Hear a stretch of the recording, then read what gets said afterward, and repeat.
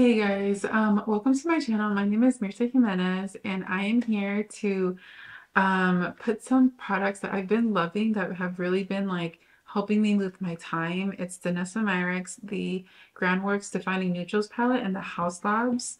Um, what is this one called? Shoot. Um, it is the Eye Library, Eye Library Eyeshadow Palette, Volume 2, the Super Neutrals. Well, I think they're both the Super Neutrals, but this is Volume 2. And I've just been um, really enjoying these palettes because um, they've been really helping me with time as far as like not grabbing for like multiple products, but kind of just like reaching out for these two to do like multiple, you know, steps to my face. And um, yeah, so if that's something that interests you, um, you, you know, you've kind of been like trying to like save time or then keep on watching. Okay, I actually already put primer on, but if you don't if you don't have like oily face like I do, I do, um, then then don't even worry about it, you know, Um, because um, this this formula is supposed to have well, it has Upsolite in it, her patented formula for, you know, her cosmetics for Myricks I'm referring to, um, and if um, you know that's that alone is supposed to help already with oils, so um let me go ahead and put some on. Okay, so um, I have used this a little bit for like some coverage, like as far as highlighting, but I still do put on foundation. But if you have like a really clear complexion, I don't even know that you would even need like foundation, maybe concealer. Um, but I I do have redness and it kind of like progresses throughout the day. But I do use a light to medium buildable coverage foundation because um, you don't have to have like your exact tone, you know, when it's lighter coverage. Like when it's full on coverage, when it's super pigmented, that's that stuff is going to literally cover like your skin, you know, like there's no peeking through of like your natural skin tone. And so that's where you have to be more spot on with, you know, otherwise, well, of course it blends with like your undertone, but I'm just saying like if it's a little too yellow, it's your face is gonna be yellow. Like this is at first when I apply it, it's a little bit too yellow, but it kind of mixes with the color of my skin because my skin tone still kind of peeks through with it, and so it still works. But like, so I would say like if you were trying to like not worry too much about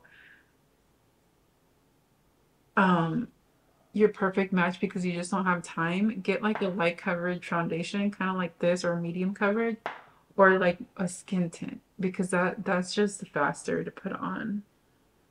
That's well that's according to me like how what i have found in my routine. So let me just put this on really if i had more time to like go more glam i would but i just these days i just don't have the time. First if you have a brush i would you know, recommend that. But honestly, um, you can also use your fingers with this. I mean, because it's it's kind of like this, like kind of like a putty kind of feel. Um, and then it kind of like turns into a shadow when you put it on. So I'm to start with a transition shade, which is this one. I think you can see it right. That already had like a color on there. So let me use my fingers actually, which kind of works out anyways because um, it's like, this is like super minimal makeup style. And look, um, it's, this routine is actually kind of faster anyways. It's looking kind of yellow, huh? I think it's because I already applied that preview shade that was on my brush. Unless it really pulls this yellow. It's okay though. It's just, it's just transition shade. I'm not really worried. And I, I like like a yellow tone on my eyelid.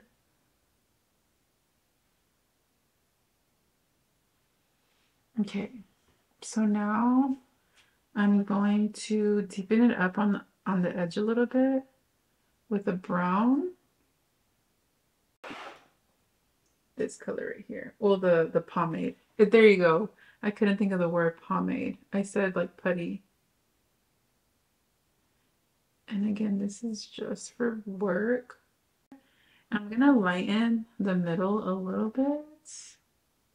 With that same finger that I used to um, do the inner corner, I'm going to take some of that white and actually dab a little bit under my eye. I'm not going to use concealer. Just to brighten it a little bit.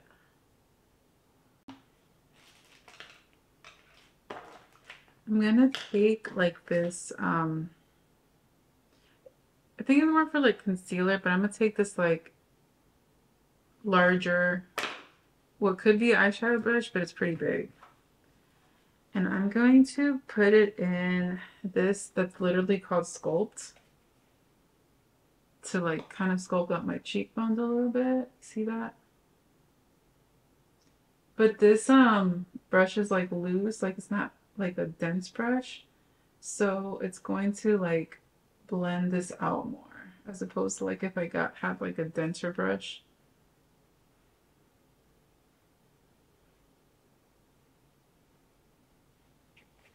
I'm actually use my other hand.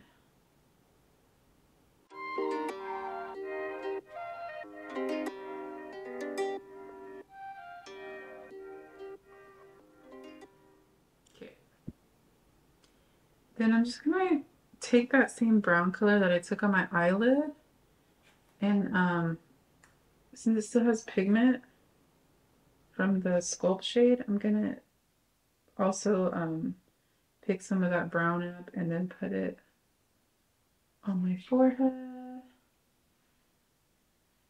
And I'm going to work, so I'm not gonna, you know, I'm gonna be light-handed. I was going out, this may not be enough, but for work and those horrible office lights, it's enough. So now I'm going to pick up only that brown shade and kind of bronze a little bit.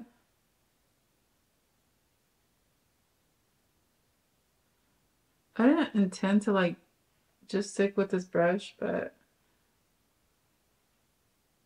since the pans are kind of small anyway, it's kind of working out. I actually like that. Hmm. So, um, the last thing, well, not the last thing actually. Hold on. I, I want to do the under eye. The under eye isn't completely like necessary for me, but I like to. I like to do it. I smoke it out.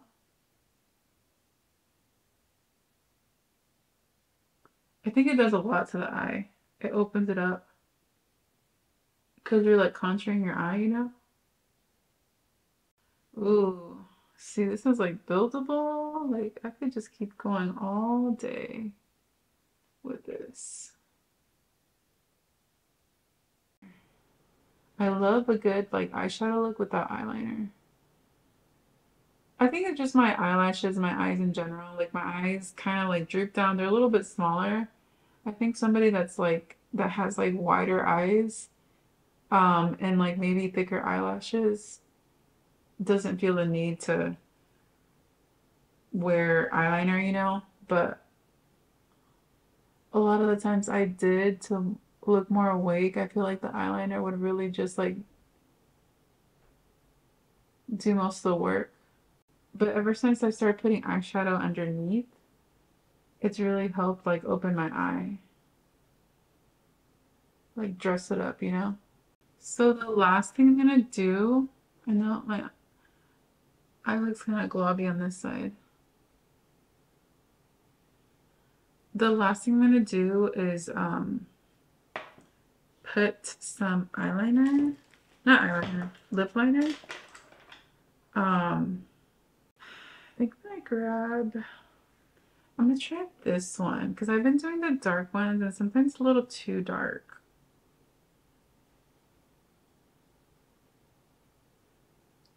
See how that works.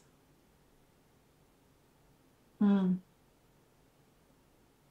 Yeah, sometimes when I go with just straight up dark brown, it's just too harsh. So I'm gonna do that medium brown that I've been using for most everything and then deepen it up. But I like that warm tone that the other one gave it. And that's why this palette is amazing because you have so many warm tones to play with. Mm. Okay, here it goes. And this is just like unnecessary. At this point, I would be done and probably running out the door. But if I have like a little extra time to do some final work, final steps, mm, I like it. Cool. Okay, guys.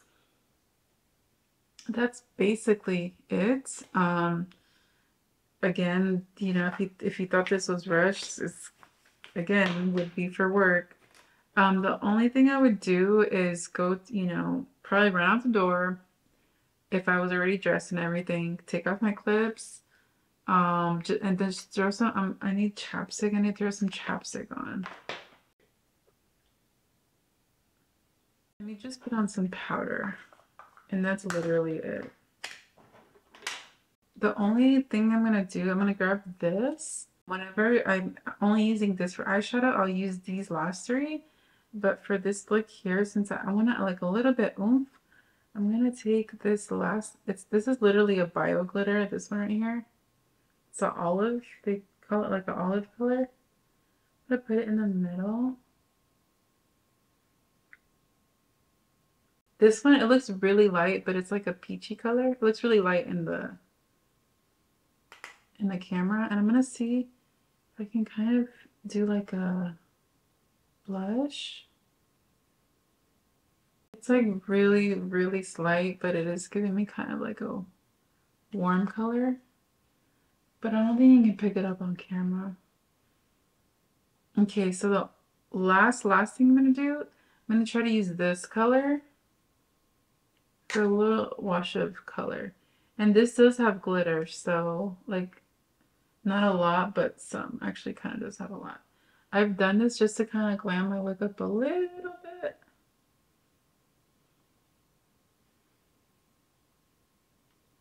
One time I was like kind of desperate for like, not desperate, I mean blush is like so unnecessary. The whole makeup is unnecessary, but like I just really wanted to wash a color and I didn't have anything else with me. And so I just gave this a shot and I actually liked it. So I don't, the only reason why I'm not going to build it up more is because it has glitter. But if like it didn't have, I mean, it's a shadow, you know, it's an eyeshadow. But if it didn't have the glitter, I would put more. But honestly, I've been liking it because it's been like the holidays, so I have not been minding a wash if glitter. But that did add a little bit of rosiness to my cheeks. And that's it. And yeah, that's this is how I would go to work a lot of times. Sometimes I would just put like glit uh, not glitter eyeliner, but other than that, not really. And I did like a full face. The only thing that um, I had to do extra was the foundation, but everything else was just the palette. Well, the one palette and the mascara, and that was it. Um, so thank you, Danessa, for this really cool, versatile, multifunctional palette. Um, I really love the formula.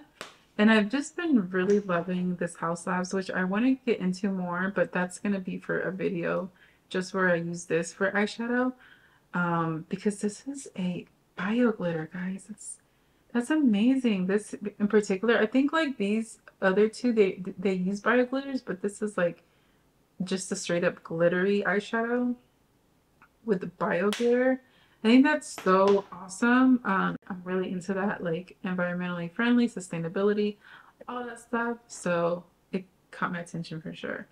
But anyways, that was enough of that. Um, I hope uh, you guys enjoyed this video. And um, if you kind of enjoyed that style, um, I really um, would appreciate if you liked and subscribe. Uh, thank you for watching and I'll see you next time. Bye.